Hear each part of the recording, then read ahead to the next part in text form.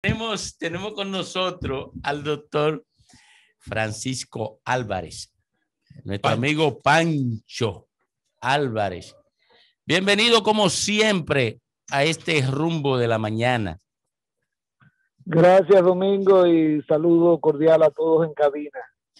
Pancho, justamente por su experiencia jurídica, eh, quisiésemos preguntarle sobre la investidura de Jan Alain, pues muchas personas entendían que precisamente por lo que él fue, no debió ir a prisión preventiva.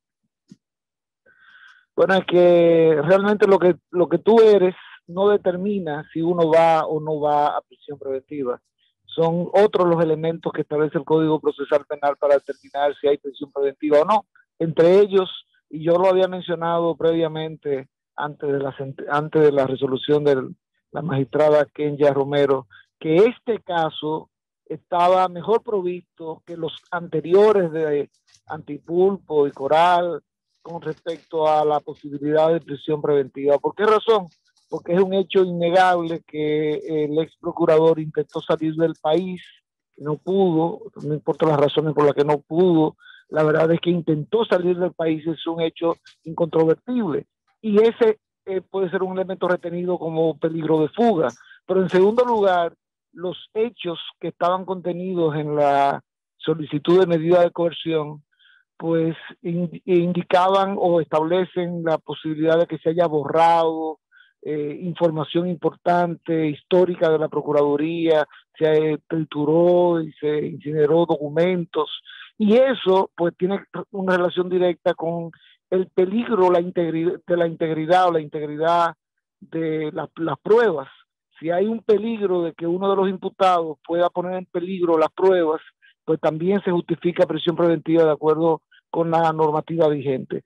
En otras palabras, no es el rango, no es la categoría que usted tenga, no es la función que usted ocupó, sino los hechos concretos que acabo de mencionar, lo que determina si hay prisión preventiva o no.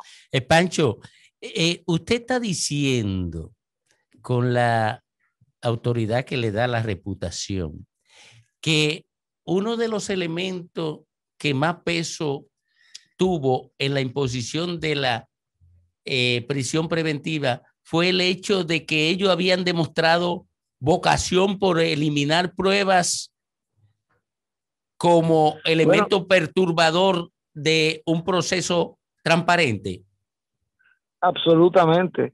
Si ustedes se ponen a leer con calma eh, esa solicitud de medida de coerción, sobre todo en la parte donde establece cuáles son los testigos que ellos tienen y qué pretenden probar con esos testigos, ustedes se van a dar cuenta que la mayoría de esos testigos lo que eh, pretenden probar eh, o lo que se pretende probar a través de ellos es precisamente las intervenciones telefónicas, de las computadoras, el borrado de la información, y eso, pues obviamente, si te, tú borras una información con qué finalidad, bueno, para no una, una información que te puede perjudicar, tú la borras. O sea que eso, pues definitivamente debió ser uno de los elementos. Y de hecho, leyendo la prensa eh, hoy por la mañana, eh, algunas que citaban a los argumentos que verbalmente dio la magistrada, pues se acercan a ese aspecto. Habrá que esperar cuando se emita la resolución completa con todos los argumentos de la magistrada, pero estoy seguro que ese va a ser uno de los elementos eh, cruciales para haber determinado presión preventiva para cuatro de los ocho imputados. Ah, que una decisión de un año y medio de prisión ya se discute tu condición jurídica es como una pena preventiva. Pero es tan evidente el rastro de responsabilidad, porque este hombre era el jefe de perseguir a los otros y se convirtió en una fuente de producción de todos los delitos que él debió perseguir al asumirlo. Y yo creo que por eso, independientemente de la crítica formal de que el juicio para investigar es una prisión preventiva, es como un reconocimiento de culpabilidad antes de que se decidan los jueces. En este caso, es tan claro el nivel de responsabilidad del procurador que yo soy lo que cree, hay que dejar de lado la crítica al valor o no de la prisión preventiva. ¿Tú crees que es verdad que hay una asociación directa de las evidencias de ahora como una muestra de irresponsabilidad del procurador sometido? Bueno, eh, otro de los elementos que establece la normativa es que el juez tiene que ponderar si con los elementos que se le presentan existe la probabilidad de que una persona pueda ser condenada. No que si va a ser condenada, porque eso solamente se decide en un juicio de fondo, ¿no? Pero que exista la probabilidad y ese elemento fue retenido por la jueza en su decisión de que los elementos probatorios depositados por el Ministerio Público hacen suponer la posibilidad de una condenación. Ahora, eh, tomen en cuenta algo. Aquí el daño más grave que ha habido no es monetario que usualmente para medir el daño de los casos uno dice, ¿cuántos millones son que se perdieron o que se robaron o se distrajeron? Aquí usted puede cuantificar el, tema de las parras o otras operaciones que hubo económicas en este caso, pero el daño principal no fue económico, fue institucional, porque de buena primera se le dijo al país que una persona que ocupaba esa posición de Procurador General de la República con funcionarios de la Procuraduría que ocupaban las principales posiciones estaban espiando al, eh, país. Y Miriam Germán fue pues una víctima de esa eh, práctica de espionaje, ¿no? Pero aparte de eso, que estaban penetrando en todas las computadoras de los, de los fiscales y estaban o borrando información o vendiendo información. Ustedes se imaginan la desconfianza que genera eso en la sociedad de que, bueno, en primer lugar no puedo hablar porque me está grabando, pero en segundo lugar, una información mía que se supone que debe ser confidencial en manos de las autoridades, de repente puede estar en manos de todo el mundo. Eso genera desconfianza y eso hace un daño a la parte institucional que es fundamental en toda democracia. Yo no tengo duda.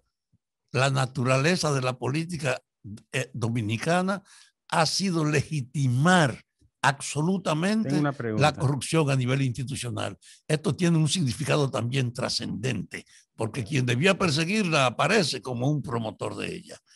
Ojalá esto se proyecte a nivel general con lo que representa de no transigir con la continuidad y el mm, encubrimiento de la vagabundería. Eh, eh, dime algo, tú que has leído y que has estudiado esta parte, ¿no? Cuando se habló en audiencia que recogieron los medios de que el 80% de la data ha sido afectada o borrada, eso tiene fundamento, Pancho, eso tiene mérito porque nos escandalizó a nosotros. Bueno, déjame decirte, por eso mencioné ahorita, para no estar hablando eh, con mi, mi, opinión, para no dar mi opinión, que es especulativa, porque obviamente yo no estuve presente en ninguno de esos eventos. Por eso dije ahorita que de los cuarenta y tantos testigos, hay 27 creo, o, más de 20, que tratan sobre el tema informático. o sea, y son personas, esos testigos, no son Juan de los Palotes, son funcionarios de la Procuraduría General de la República, que están puestos allí como testigos para probar esa situación que ocurrió en materia informática dentro de la Procuraduría General de la República. Claro, yo no conozco los testimonios de esa persona, pero en esta fase del proceso bastaba para el Ministerio Público señalar que con este testigo pretende probar tal cosa. Eso es lo único que hay que hacer. Lamentablemente, estas audiencias eh, de esta medida de coerción se han convertido prácticamente en audiencias de fondo, ¿no? No debería ser así, debería una audiencia de esta naturaleza y de esta magnitud debería conocerse en dos o tres horas lo máximo. Pero bueno, eh, también me resulta sorprendente la estrategia del principal imputado, Jean Alain Rodríguez, de que solamente se escuche la defensa, que los periodistas, ¿no? Solamente escuchen la defensa material y no la defensa técnica. Yo, a través de los audios que se han filtrado, he escuchado la defensa material de Jean Alain Rodríguez y lamentablemente creo que fue una mala eh, estrategia de su parte. Debió eh, presionar para que se escuchara, para que todo el país escuchara su defensa técnica que porque ahora mismo tú me preguntas sobre los argumentos de los abogados de Jean Alain Rodríguez, yo no, te puedo dar información. No, lo sabemos. Porque no la conocemos. Así es. Exacto. Bueno, eh, Pancho, gracias. Siempre agradecido de que accedan a nuestro llamado aquí al rumbo de la mañana y por aportar estos datos. Realmente estamos en presencia de algo inédito, de un hecho sin precedentes y bien, como tú señalas, ya lo habíamos comentado aquí nosotros, coincidiendo, más que a la trascendencia o el interés económico de este caso, es el daño institucional y al mandato de la ley y la constitución que se ha ocasionado presuntamente con el caso Medusa. Muchas Así gracias, es. Pancho. Gracias a ustedes. Bye bye.